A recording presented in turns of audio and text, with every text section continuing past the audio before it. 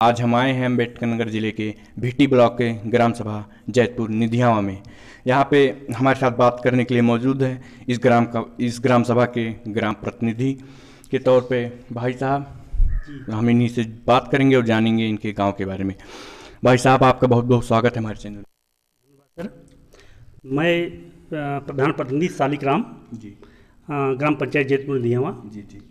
Block Bhiti.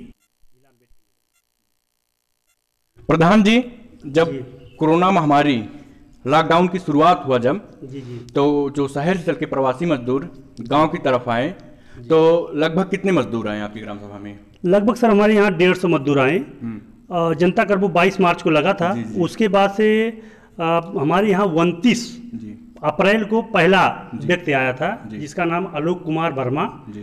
पिता का नाम महिराम वर्मा था। और उसके बाद 30 अप्रैल को तीन तीन लोग और आ गए। वो भी दिल्ली से आनंद बिहार से आए थे। जी जी। तो सर जो है उस समय जो है ये बीमारी इतना भयंकर था जी। पब्लिक के अंदर इतना डर था जी, जी। कि मतलब से बाहर निकलना मुश्किल हो गया जी, जी, प्रशासन बहुत- और जी, जी, जी। जो भी दिशा निर्देश दिए गए थे। बहुत प्रॉब्लम था। जी, जी। तो इसके लिए जो है जब वो आए सबसे पहले हमारे पास कांटेक्ट किए। जी।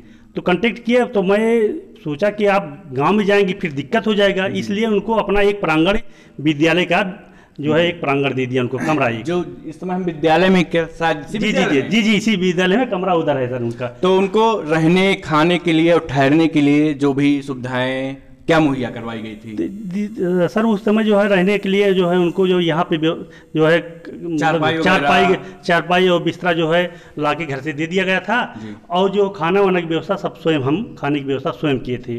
उनको दो टाइम गर्म पानी देते थे जी, जी। और काढ़ा वाढ़ा दे देते थे।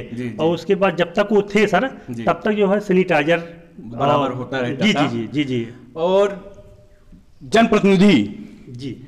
लॉकडाउन में जनप्रतिनिधियों द्वारा कुछ सहयोग किया गया था कि नहीं आप जी जी जी एक जो है संस्था है जी। अ, नाम सर फाउंडेशन कैसे है नाम हम्म, हम्म। याद नहीं संस्था का वो उनके उनके पास मैं फ़ोन किया था।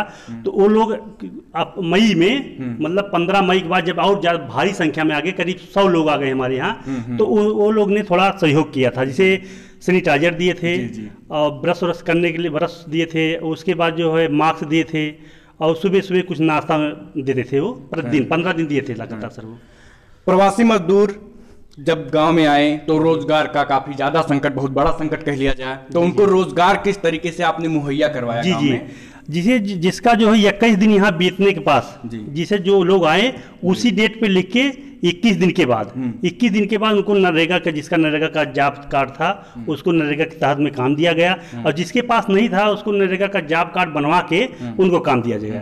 अच्छा काम दिया गया। जी जी। सभी मजदूरों का जॉब कार्ड बना था? नहीं लगभग कुछ लोग जी नहीं नहीं लगभग नहीं जो करते थे हाँ। क्योंकि अक्सर जो परदेसी मजदूर थे ये तो गाँव में काम कम करते थे। तो उनका नाम जिसका था वो करते मतलब काम तुरंत लगा दिया गया लेकिन जो लगाया गया। गाँव को कोरोना काल में लॉकडाउन में कितनी बार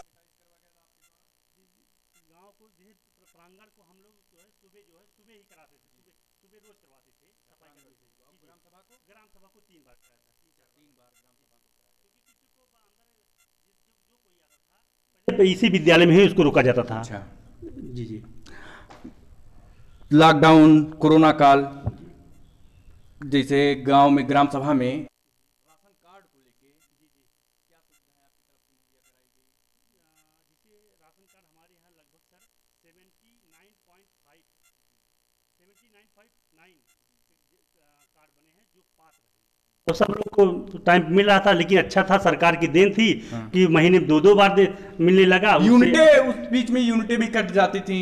नहीं नहीं की तरफ़ जी जी जी जी भी होती थी। जैसी ऐसा हमारे यहाँ सर नहीं था। जी। और रही बात जो कोटेदार की घटोली कोटेदार भी हमारे साथ सहयोग करते कोटेदार भी सहयोग करते थे। थे और कोई ऐसा समस्या राशन के लिए नहीं आया हमारे पंचायत में। सफ़ाई कर्मी का क्या रोल रहा इस लॉकडाउन में? बराबर आते थे जी जी जी। सफ़ाई कर्मी सुबह जो है वो यहाँ विद्यालय में आते थे? विद्यालय में आते थे। डेली वो सैनिटाइजर का काम करते थे।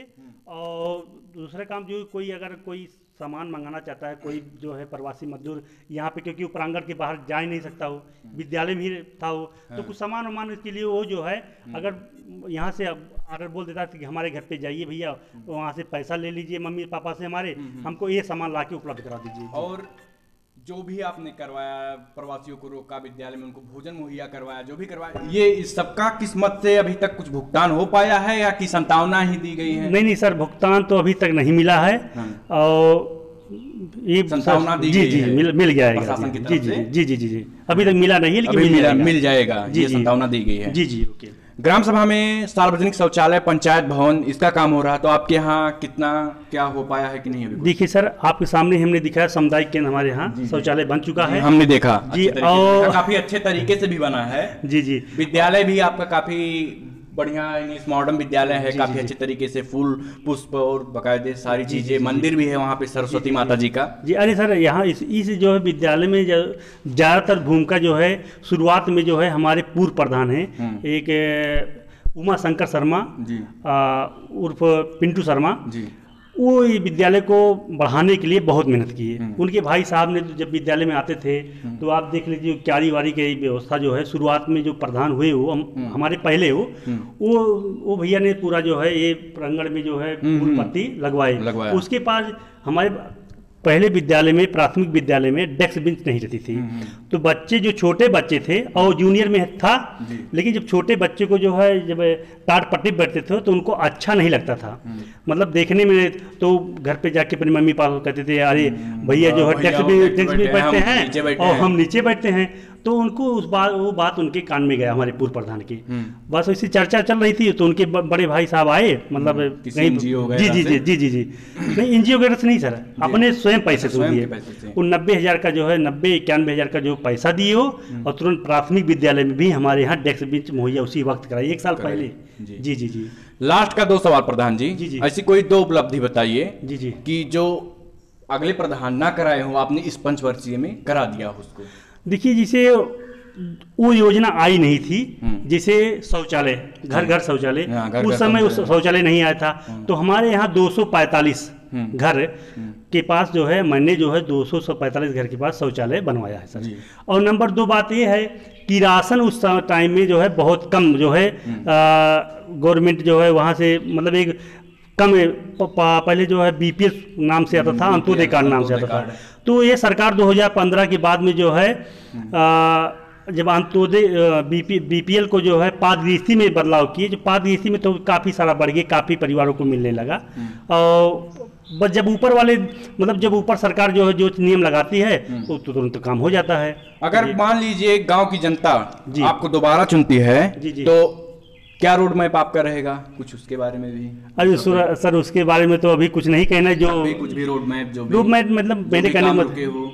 नाली खड़ंजा। नाली खनिजा सर पर्याप्त है। हमारे यहाँ ये आरसीसी का काम जो है जिसे सहा हम सोचते हैं कि शहर के सड़कों को मुख्य मार्ग से जोड़ा जाए और उसके बाद शहर की तरह हाँ। हमारे गाँव की। गलियाँ भी आरसीसी की तरह चमके। जी जी। जी। बहुत बहुत धन्यवाद प्रधान जी का। हम प्रधान जी को अग्रिम शुभकामनाएँ देंगे कि जीत के आए दोबारा गाँव का विकास करें। प्रधान जी का मुख्य जीतने के बाद उद्देश्य ये रहेगा कि गाँव की जो सड़कें हैं, उसको आरसीसी कराई जाए, शहर की तरह हमारे गाँव की गलियाँ भी चमकें। तो हम प्रधान जी को अग्रिम शुभकामनाएँ देंगे कि जीत के आए कि गाँव की जनता का दोबारा विकास करें। बहुत बहुत धन्यवाद।